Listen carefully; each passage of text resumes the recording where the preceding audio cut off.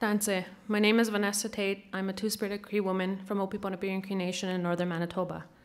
I would like to acknowledge the Treaty 6 territory that we are gathered on. Thank you for welcoming us to your traditional territory to share our messages of we desire a better country. I I will be sharing with you a message and presentation that my sisters and I have presented and shared before. Now, I only have seven minutes and not an hour and not 150 years. And while my sisters were unable to come with me, but they are here in my heart. And I was unable to bring the teepee bundle with me as the time and space would not accommodate it. Therefore, you will need to utilize your thoughts and imagine there's a teepee standing here beside me. The teepee, in my language, is mîkiwahp, represents our indigenous women. Culturally, it has been the domain and place for our women. People ask, Do you still live in a teepee? Really, I do wish we still lived that way because a teepee is a symbol of our women. It honors our ancestors, great grandmothers, grandmothers, mothers, aunts, sisters, and all Indigenous women everywhere. The teepee honored our place in the circle. Culturally and traditionally, the women were the carriers of the teepee. The teepee has 13 poles, which we to me represents 13 moons.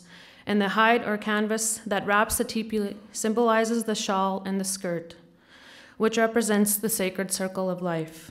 There are many teachings of the mîkiwahp, and today I would like to utilize it as a symbol and honoring of our Indigenous women to share the message that I have for you.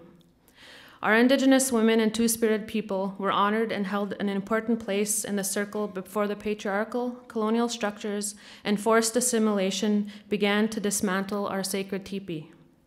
In 150 years, Canada has managed to dismantle and try and destroy us as Indigenous people.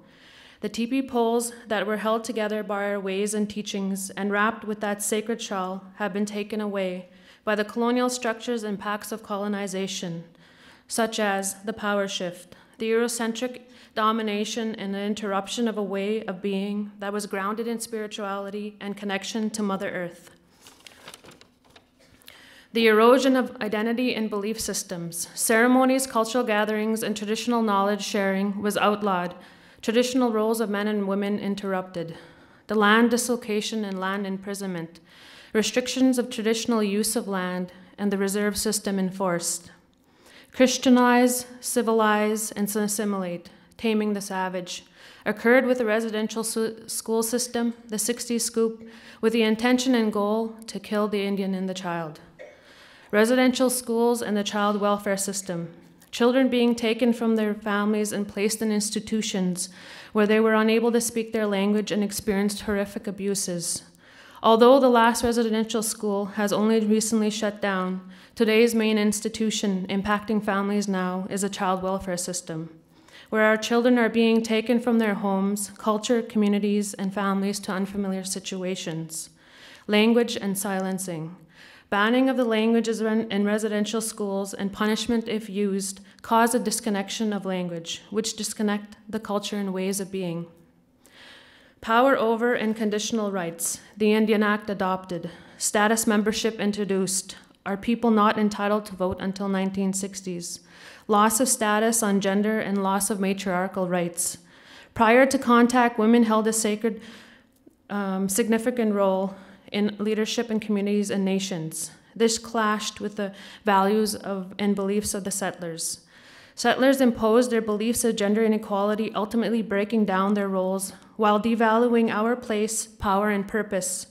Indigenous women are one of the most marginalized in Canada, as seen with the disproportionately shameful rates of missing and murdered Indigenous women and girls and two spirited people in this country. The hidden truth Canadian history is written and taught from a settler's perspective and has unfortunately become the dominant narrative. History in many of our institutions seems to be taught on values of discovery, settlement, advancement, and progress without acknowledging the trauma, segregation, destruction, and negative consequences of advances. Truth of our people is often silenced and hidden in the shadows of the state. And genocide. This represents the smallpox and other diseases. Represents over 500 years of colonization, assimilation, legislation legalizing oppressive acts, and the last phase of genocide is when the initiators step back, wipe their hands, and say, Look what these people are doing to themselves. As Minister Duncan Campbell Scott said, our objective is not to, is to continue until there is not a single Indian in Canada. Well, guess what, Mr. Scott? We're still here, and Canada has not fully dismantled our people and our teepee. We have, uh, within our teepee, we, we usually have three that are tied together. And with those three, that represents our grandmothers, mothers, and children. This is our foundation that is strong, that is too powerful to allow a system to destroy us. The, the poles that were dismantled, the ones um, that were taken from the teepee, those are our sisters, our missing and murdered Indigenous women and two spirit relatives, and our children in the welfare system. We want to bring them home. We want our teepee and the domain that represents our place in the circle to be acknowledged and to bring back our traditions and to not be pushed away anymore.